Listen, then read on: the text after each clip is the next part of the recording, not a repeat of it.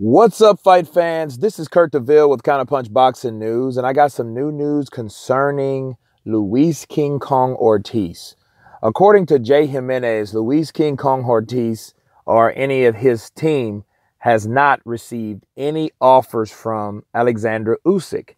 You know, this was a big rumor that said that Usyk would had three guys in mind. The top of the list was Luis Ortiz, then Dillian Whyte, um, or Povetkin you know, as one of his opponents, you know, and Jay Jimenez just squashed all those rumors and say, hey, that's simply not true. We haven't received anything from the Usyk's camp. Okay. So they reiterated, hey, we haven't received anything from their camp, nothing at all. Of course, we've heard the rumors, but we haven't had anything sent. You know, and you know, Jay Jimenez went on to say, like, yeah, you know, we notice a lot of people that use Luis Ortiz's name, you know, as a hype job, but then they disappear, you know, and let me counterpunch that. I think Jay Jimenez is right. I see a lot of people that is doing the same shit, okay? The same things has been said and done many times over. You've heard it been said. You heard people call out Luis Ortiz's name, and then all of a sudden they do disappear. You don't hear anything from it. You know, you hear, oh, yeah, we're sending an offer. We're going to do this. We're going to do that. Yeah, we want Ortiz. Bring on King Kong. Dig up the old guy. You know, he's old. Dig him up, this, that, and the other. You know, and then you don't hear anything else about it. Then when it gets back to Ortiz's camp, they're like, hell, we ain't heard nothing.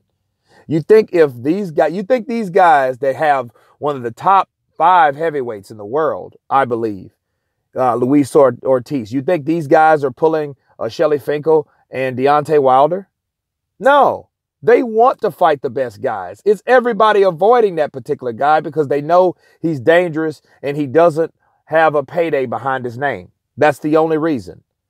You know what I mean? So not only won't you get paid like you, I guess you wish for the risk, but then you'll get knocked out in the process. So I get it. You know, it's all about business a lot of times with these guys, you know, but they haven't heard anything. But they'll take, but like Jay Jimenez said, they'll take that fight in a second. He also added that, you know, I think Usyk, you know, is a good fighter, but he needs to fight someone else first. And I absolutely agree because I did a video about that, you know, possibilities of who Usyk will fight. And I made that recommendation of Ortiz. But why would you want to fight someone like Ortiz? I wouldn't even recommend Joe Joyce to fight Ortiz, even though Joe Joyce, another example of a guy that calls out Luis Ortiz, then after that you hear crickets. You don't hear shit else. When Ortiz's camp speaks or Ortiz himself says, sure, dale, right? Meaning, come on, let's go. Well, you don't hear anything. You hear crickets, Jiminy crickets. That's all you hear. You don't hear a peep, right? You don't even hear a church mouse when he says, okay, I accept the fight. Where you at? You don't hear anything.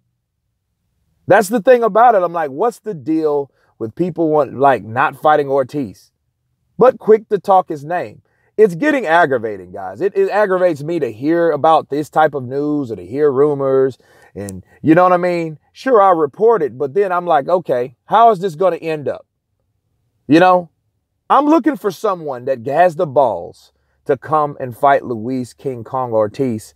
Like Mikey Garcia saying, fuck it, I'll fight Errol Spence. Because that's how I look at Ortiz in the heavyweight division. He's like a southpaw Errol Spence. Well, Errol Spence is a southpaw. So he's like a heavyweight Errol Spence in his own division. Okay. Because there's nobody that really wants to fight him. And he's even worse, worse, worse so because there's people actually want to fight Spence. Let's be real. But the way he was maybe a year and a half ago when he was looking for fights and Shawn Porter was like, uh-uh, Keith Thurman, I'm hurt. Uh-uh. You know what I mean? Danny Garcia, nah, I'm not with that. I'll fight it one day. Uh-uh.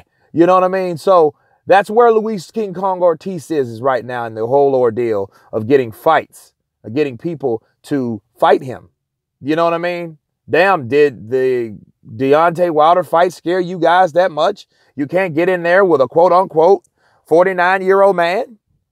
Come on, let's let's be real about this, man. I mean, because a lot of people say, why are you always talking about Ortiz? It's not me talking about Ortiz. Why is everyone else talking about Ortiz? That's the question you ask yourself. So if you're going to ask me, why am I talking about Ortiz? Ask everyone else.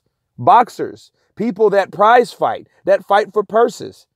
This is their fucking job and they can't pick this particular opponent, but he's so old and he's on old legs, like Tyson Fury says, and he's this, he's that, and he's underrated and he'll get knocked out. Okay, do that shit then. Please, for the love of God, someone fight Ortiz and knock him out.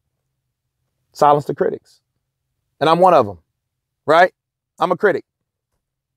Silence me because all I see is people using his name for fame, for quick hype flame. And that's it. And the flame's out. Done. You know, when he gets to talking and then, oh shit, getting too real, I'm out.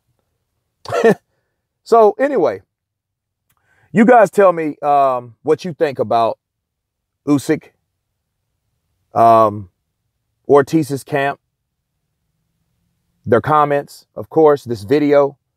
Please subscribe. And you guys been counterpunched. Peace.